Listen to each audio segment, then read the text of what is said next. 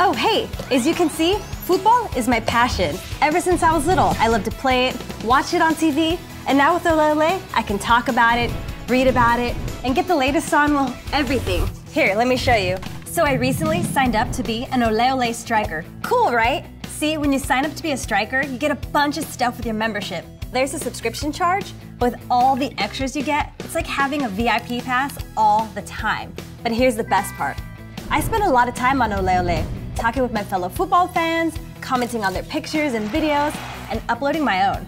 In fact, one of the really great things about the Ole Ole site is that it's in Espanol, which means I can talk to all of mis amigos. So, the people that run Ole Ole asked me to be a pro on their site. How great is that? As a pro, I have a blog site of my own. This is kind of a big deal for me because I'm a journalism major and this gives me the opportunity to combine my two biggest passions, writing and football. And you never know, someday.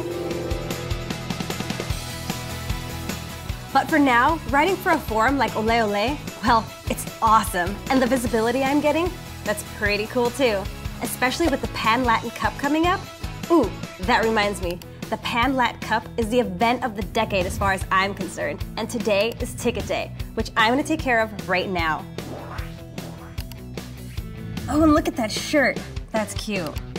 I like those shorts too. Hmm, I can see I'm gonna need more time with those decisions. But as for the game, that's a done deal. So now I just need to let the gang know that I'm going. Now everyone on the Ole Ole site knows. And what's more, my non-football friends know too. It's hard to believe, but not all my friends are as crazy about football as I am. Those friends see my status on Facebook. And sure enough, now they're starting to see why football is the most exciting sport in the world. Some of them have even joined the Ole Ole site too. Oh, game time! I almost forgot. Don't worry, if you can't make today's game, I'll upload the best parts with my iPhone.